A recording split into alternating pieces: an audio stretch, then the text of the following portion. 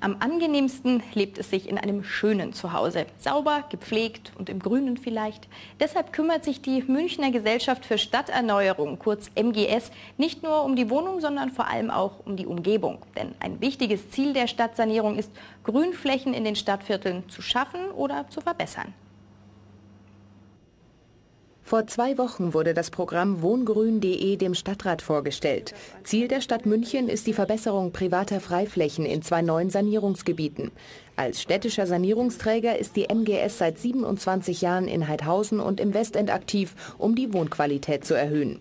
Neben der Modernisierung von Gebäuden geht es vor allem darum, mehr Platz und Grün zwischen eng bebauten gründerzeitlichen Wohnblocks zu schaffen.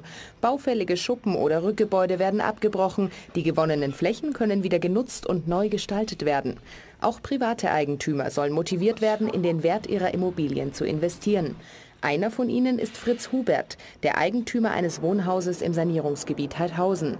Er informierte sich bei der MGS und erfuhr von der Möglichkeit, seinen Hof mit finanziellen Zuschüssen der öffentlichen Hand zu gestalten. Der gelernte Architekt machte selbst den Planentwurf und stimmte ihn mit der MGS ab. In dem Hof ist eine grüne Oase für die Mieter entstanden. Alle Hausbewohner fühlen sich nicht nur wohl, sondern auch verantwortlich für die Pflege und Erhaltung. Man frühstückt hier gelegentlich, nicht immer. Nachbarkinder schlupfen durch ein Loch im Zaun, das wir bewusst dafür freigehalten haben.